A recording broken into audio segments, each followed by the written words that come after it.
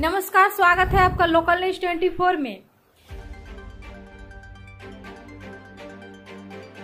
Rajpur police ने 166 cartoon देसी शराब किया बरामद। शराब धंधेबाज फरार, मामले में जुटी पुलिस। राजपुर पुलिस ने गुप्त सूचना के आधार पर 166 कार्टून बुलेट एवं चैंपियन देसी शराब किया बरामद। मिली जानकारी के अनुसार, राजपुर पुलिस को जब सूचना मिली कि शराब धंधेबाज द्वारा थाना क्षेत्र के श्रीनगर टोला के काव नदी के किनारे ज़मीन के अंदर शराब छिपा कर रखा गया है तो तुरंत सूचना मिलते ही पुलिस स्थल पर पहुंचकर छापेमारी शुरू कर दी। पुलिस की भनक मिलते ही शराब धंधेबाज भागने में सफल रहा। पुलिस द्वारा सूचना के आधार पर चिन्हित स्थानों से जब ज़मीन की खुदाई की गई तो ज़मीन के अंदर से एक सौ छियासठ कार्टून, यानी 1245 लीटर बुलेट एवं चैंपियन देसी शराब 300 एमएल का प्रति बोतल बरामद किया गया।